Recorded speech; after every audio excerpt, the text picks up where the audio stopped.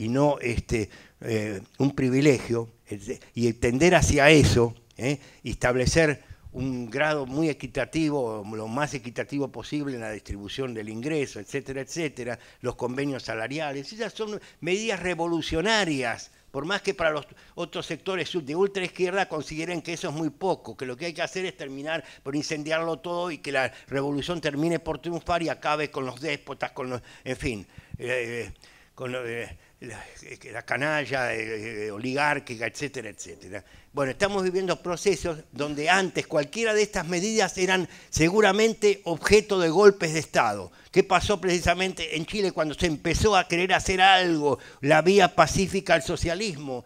¿Eh? ¿Cuánto tiempo duró y cuánto duró lo que vino después? ¿Y cuánto sigue todavía esa mentalidad haciéndose acá eco, no solo de digamos, de los sectores más altos de la sociedad, sino también de muchos tipos que andan por la calle y que se sienten que van a ser en el futuro, no es así, em, em, empresarios de esto o de aquello, ¿eh? cuando en realidad a veces son simples trabajadores etcétera, etcétera. Decía, este da para, no quiero hacer otro discurso nuevamente porque ya creo que estamos bastante corridos en fin, eh, porque también hay otros oradores y demás, ¿no? Yo quería eh, compartir una, vivencia que tengo desde, desde joven en Chile eh, como ex luchador universitario.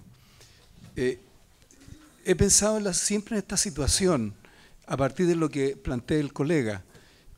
yo fui compañero en la Universidad Católica de Jaime Guzmán cuando cometí el pecado de incursionar en la Escuela de Derecho eh, Jaime Guzmán, el principal integrista católico de este país, eh, de la aristocracia chilena, pero venido a menos, muy inteligente, y que, ven ustedes, hasta el día de hoy, después de 40 años, nos tiene viviendo en el discurso jurídico de la dictadura. Porque él fue el genio de la redacción de esa constitución junto con Ortúzar y otros viejos abogados y leguleyos de la época. ¿No es cierto? Pero también por otra parte, ¿no es cierto? Eh, hace pocos días nos llega la biografía de Miguel Enrique. Estoy dando dos eh, polos emblemáticos de del juvenilismo chileno que parte, ¿no es cierto?, de la representación, uno de la oligarquía y otro que tenía el lema eh, sobre la reivindicación de los pobres del campo y la ciudad, que fue uno de los lemas del MIR. ¿ya? Y vemos que eh, la, juventud que termina inmolada es precisamente la que lucha por la reivindicación de los, de los pobres del campo y la ciudad, ¿verdad? Y la otra se asienta nuevamente en la historia y eh, ultramontanamente desde la perspectiva, ¿no es cierto?, del militarismo latinoamericano colonial prácticamente, nuevamente refunda, ¿verdad? Refunda este país. Porque Pinochet y Jaime Guzmán eh, plantearon una revolución. O sea, este país se tenía que refundar.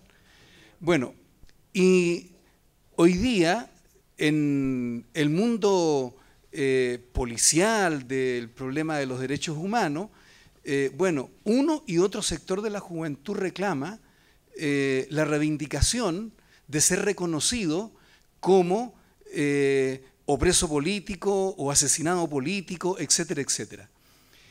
Eh, una de las preguntas que yo me hago cuando, en un curso de ética que hago para estudiantes del área de humanidades, planteo esta situación como un polo de oposición muy fuerte, cómo lo asume la juventud hoy día, la juventud de esta universidad, en fin, la juventud chilena.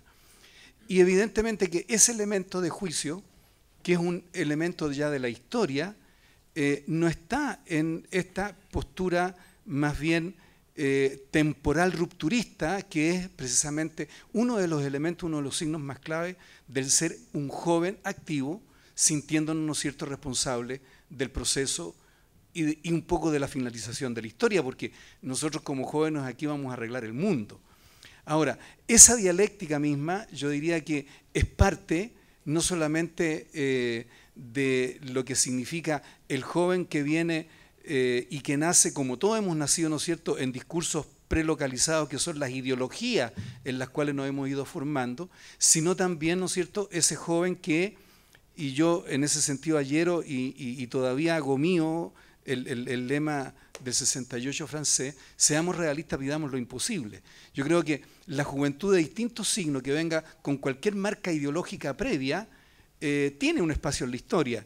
El problema es que ya ahí habría que entrar a discutir, ¿no es cierto?, ya los problemas de poder, las cuotas políticas, etcétera, etcétera.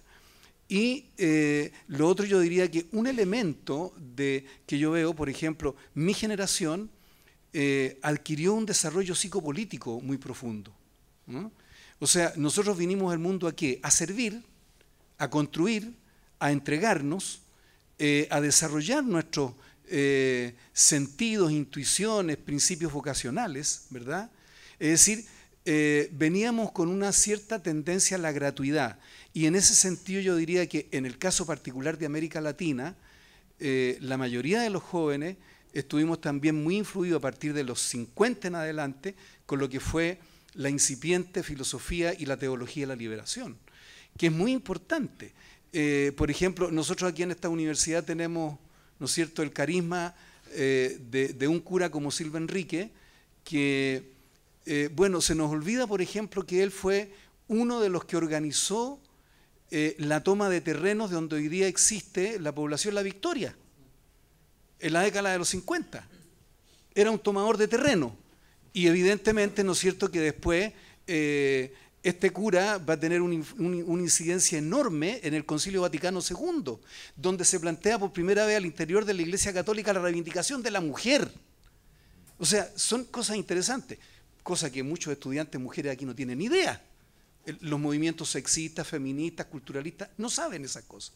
Entonces, eh, yo diría que, eh, para terminar, eh, es muy variopinto, es muy heterogénea, hay muchas variables involucradas en lo que podríamos nosotros definir hoy día como joven, especialmente, ¿no es cierto?, este que tú señalaste al final, Lugo, el, el, el joven ¿no es cierto?, que está más bien involucrado en una cuestión de carácter economicista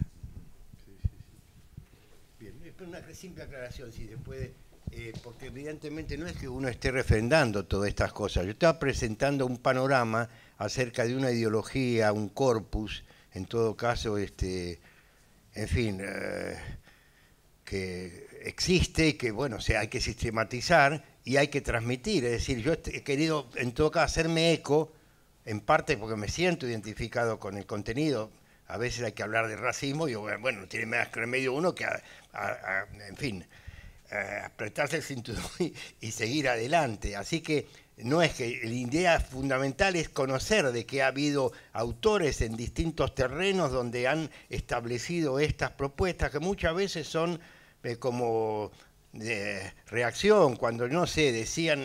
en, la negritud, por ejemplo, cuando veían al blanco como, un satán, como alguien satánico, ¿no es así? O como Satanás en persona. ¿eh? Evidentemente eso es un tour de force muy grande, pero como reacción visceral frente al sometimiento que han tenido ¿eh? este, eh, las, gentes de ese, de ese, bueno, hombres de color se puede decir en general, de, digamos los diferentes, los distintos, los excluidos, sometidos, etcétera, es lógico que se reaccione frente al quien se simboliza como él, este, digamos así, aquel que, bueno, eh, ha hecho eh, de la historia una sangre simbólica o real eh, con los demás, ¿no? Este, en fin, entonces tampoco es pensar que uno está, eso evidentemente ya para un seminario ponerse a discutir estas tesis y ver el grado de aceptación o verosimilitud que pueden tener, pero en fin, no, no es que todo lo que uno expone es que implica una especie de, eh, toma absoluta de partido, ¿no? En fin, pero es interesante sobre todo porque acá ya desde ayer hemos visto presencia de estudiantes, etcétera, que eh, sepan eh, algo tú decías, que en general las ideas juvenilistas, los propios jóvenes, en una época la juventud no quería saber nada del pasado porque estaban ahí nomás en la vanguardia, estaban haciendo historia o creían que la estaban haciendo. Cuando es la época de repliegue, uno empieza muchas veces a preguntarse porque cómo han sido las cosas hasta ahora, empieza a retomar, hace pie en la tradición de alguna manera, dentro de las causas que uno les interesa de alguna manera desarrollar. ¿no? Entonces, todo eso también hay que contextualizarlo y demás, en principio, en fin. Pero.